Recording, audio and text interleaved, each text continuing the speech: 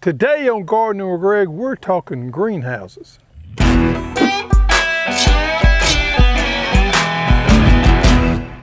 Today I want to share with you the greenhouse that we have and use to start our own transplants. Some of this information may be beneficial to you if you decide to put your own greenhouse in and grow your own transplants. We grow about a quarter of an acre garden pretty much year round.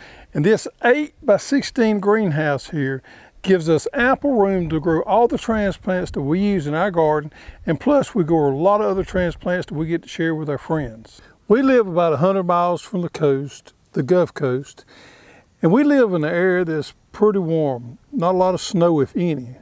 We live in zone eight. So some of the things that's important to us for a greenhouse is having a good, sturdy structure. The greenhouse that I put in, I put in on a footing system just like you would a house.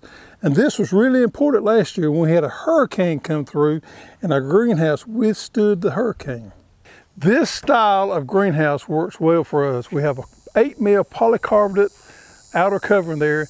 And the tight roof system we got works fine for us because we don't get any snow. Now, if I lived up north where I got a lot of snow and I needed a load bearing roof, this wouldn't work. So it's important to pick out the style of structure for greenhouse for you that works in your area.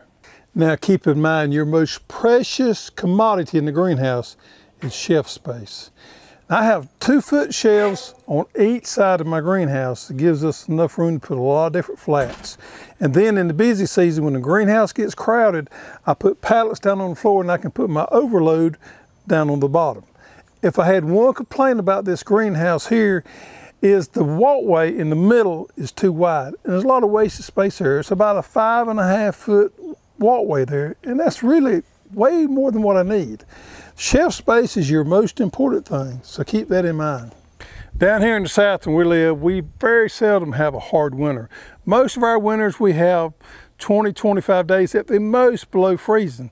So what's important to us more than insulated value of our greenhouse is airflow and circulation. Because even in the wintertime, this greenhouse can get really hot real quick.